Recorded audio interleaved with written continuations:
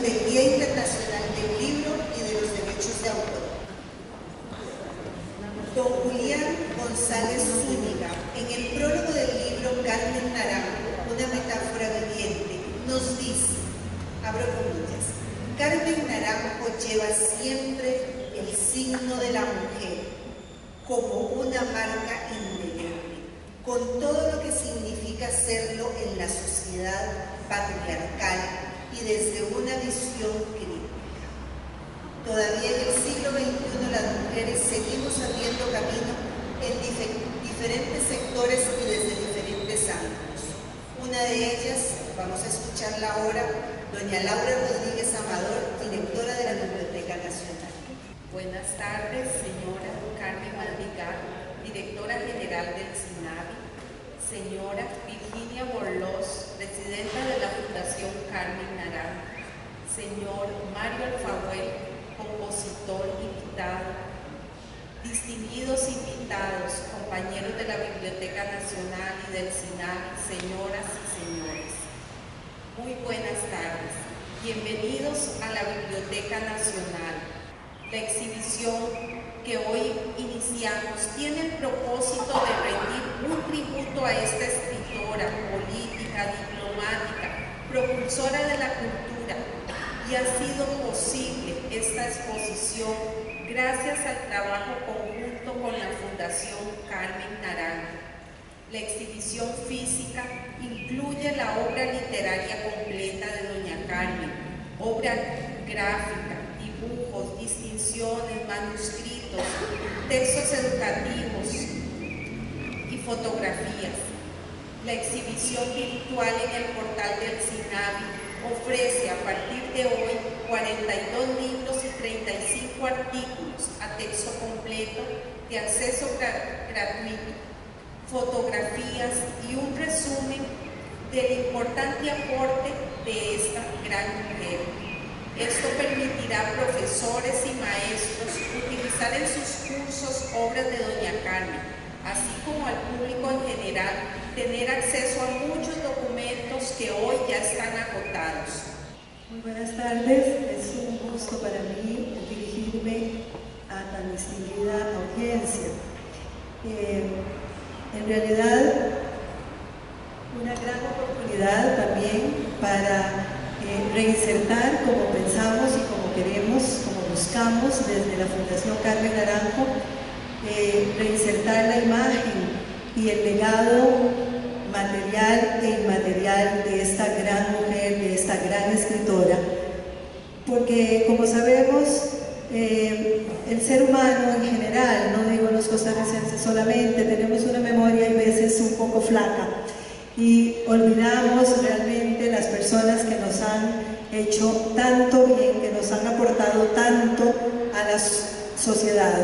Y entonces esta es una manera de mantener viva la memoria de Carmen Naranjo. De ahí el nombre que, que decidimos ponerle a esta, a esta actividad, a esta exposición de Memoria Viva memoria viva en ustedes, en nosotros, en las nuevas generaciones, en todas las personas que, por alguna razón eh, oigan hablar de Costa Rica, eh, que por alguna razón oigan hablar de nuestros escritores, de nuestras escritoras, de nuestros artistas en general.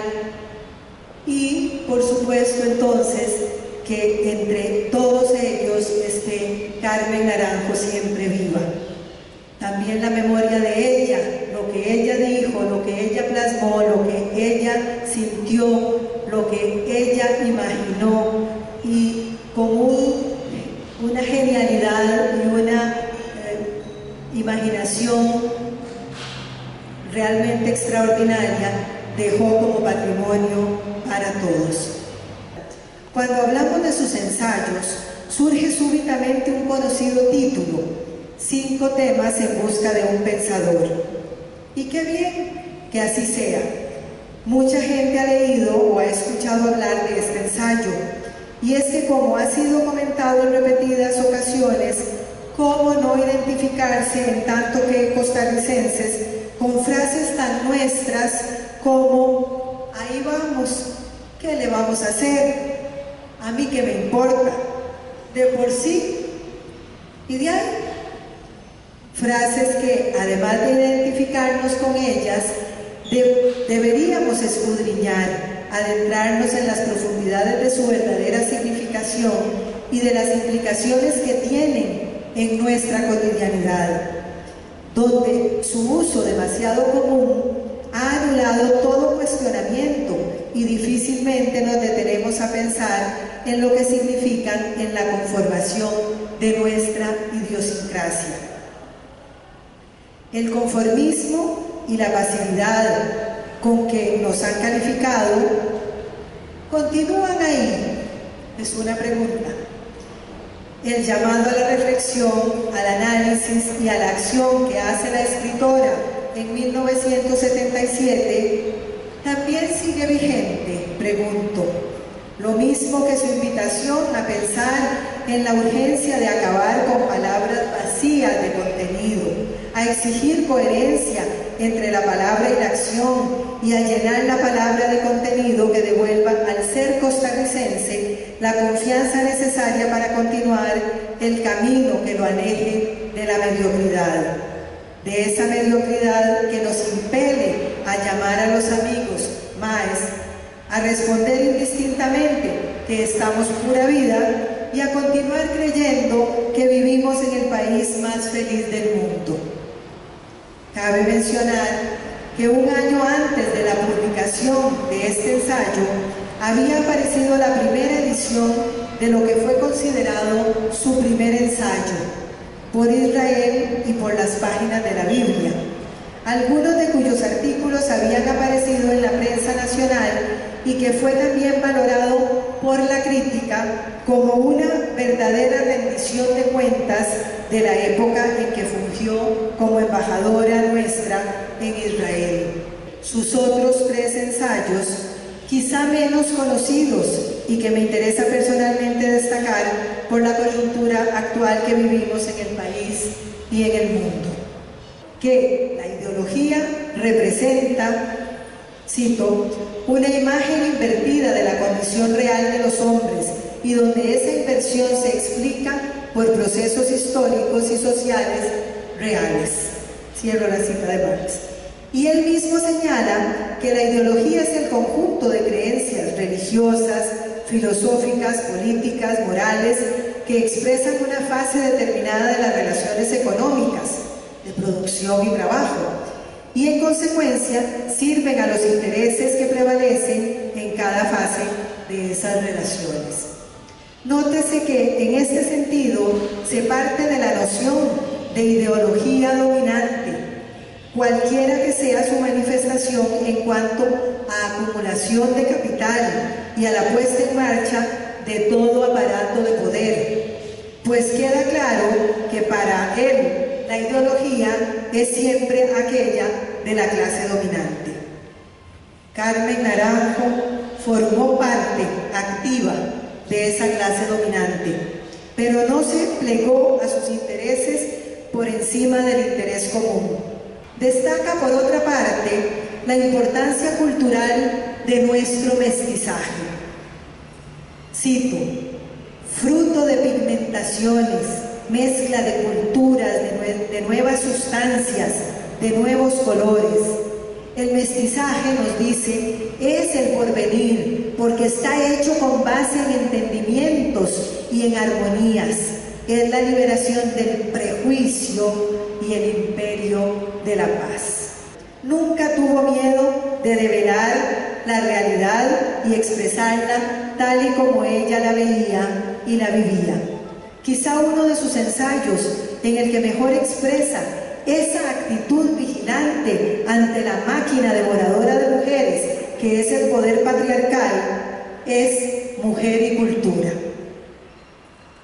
En él repasa las diferentes facetas de la mujer a través de la historia, desmitifica la palabra y los hechos, creencias, costumbres, limitaciones y actitudes que obedecen tan solo a las circunstancias históricas y a la conveniencia de la otra mitad que conforma la humanidad, nutrida básicamente de religión, de desconocimiento y de desinterés personal.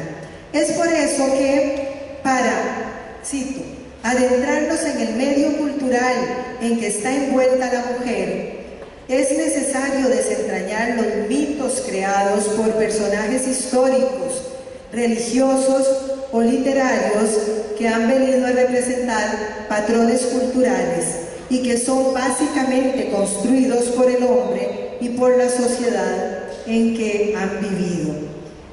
Asistimos en la primera parte de este ensayo a la caída de mitos ancestrales como el mito de Eva, al que califica de relato de la esclavitud como castigo divino, pero deduce la mejor lección del mito en la continuidad de Eva con Adán, a pesar del pecado de Eva.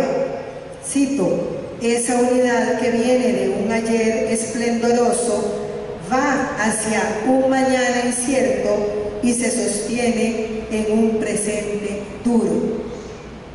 Continuamos nuestro descenso con la destrucción del mito de Penélope, el de la esposa que espera indefinidamente, tejiendo y destejiendo el velo de la negación al conocimiento, a la experiencia humana, el velo de la fidelidad conyugal, mientras el esposo viaja por el mundo, tiene maravillosas experiencias, pasa por increíbles aventuras, aprende, vive disfruta de espacios sin límites como el mar.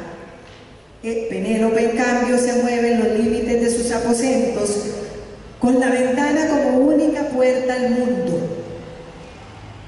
Así nos dice Carmen, cito, sin acceso al conocimiento y a la experimentación, es fácil analizar el papel de la mujer en la sociedad, tanto ayer como hoy.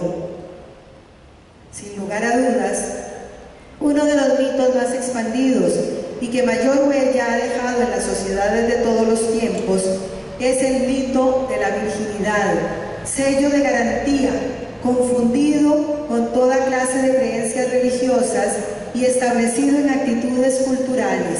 Es una especie de garantía a priori de primera pertenencia, de relación de compraventa, para el que Carmen reserva la irrefutable sentencia de, cito, cruel, absurdo, antinatural y poco real en términos de vida y de relación humana. Buenas tardes a todos y a todas. Detrás de todo artista hay un ser humano que se esconde, sea una mujer o un hombre, y es esa la intención mágica que consciente o inconscientemente ha llevado a realizar este evento, trayendo a doña Carmen Naranjo a la Biblioteca Nacional, porque en esta exposición podemos ver la vida de una mujer detrás de un escritor, y eso es una cosa fantástica. Para nosotros, la Fundación Camaleonar, es un honor hacer parte de este evento, porque tanto la Biblioteca Nacional, doña Laura eh, Rodríguez y Carmen Madrigal, como la Fundación de Carmen Naranjo con doña Virginia Oroz y Katia, nos abrieron las puertas para hacer un experimento en conjunto con los niños en alto riesgo, porque Arte Amigo es un taller para niños, taller de arte que mezcla el arte y la psicología. Entonces yo les voy a decir, o les voy a iniciar, en qué significa esta exposición que tienen aquí a mano derecha.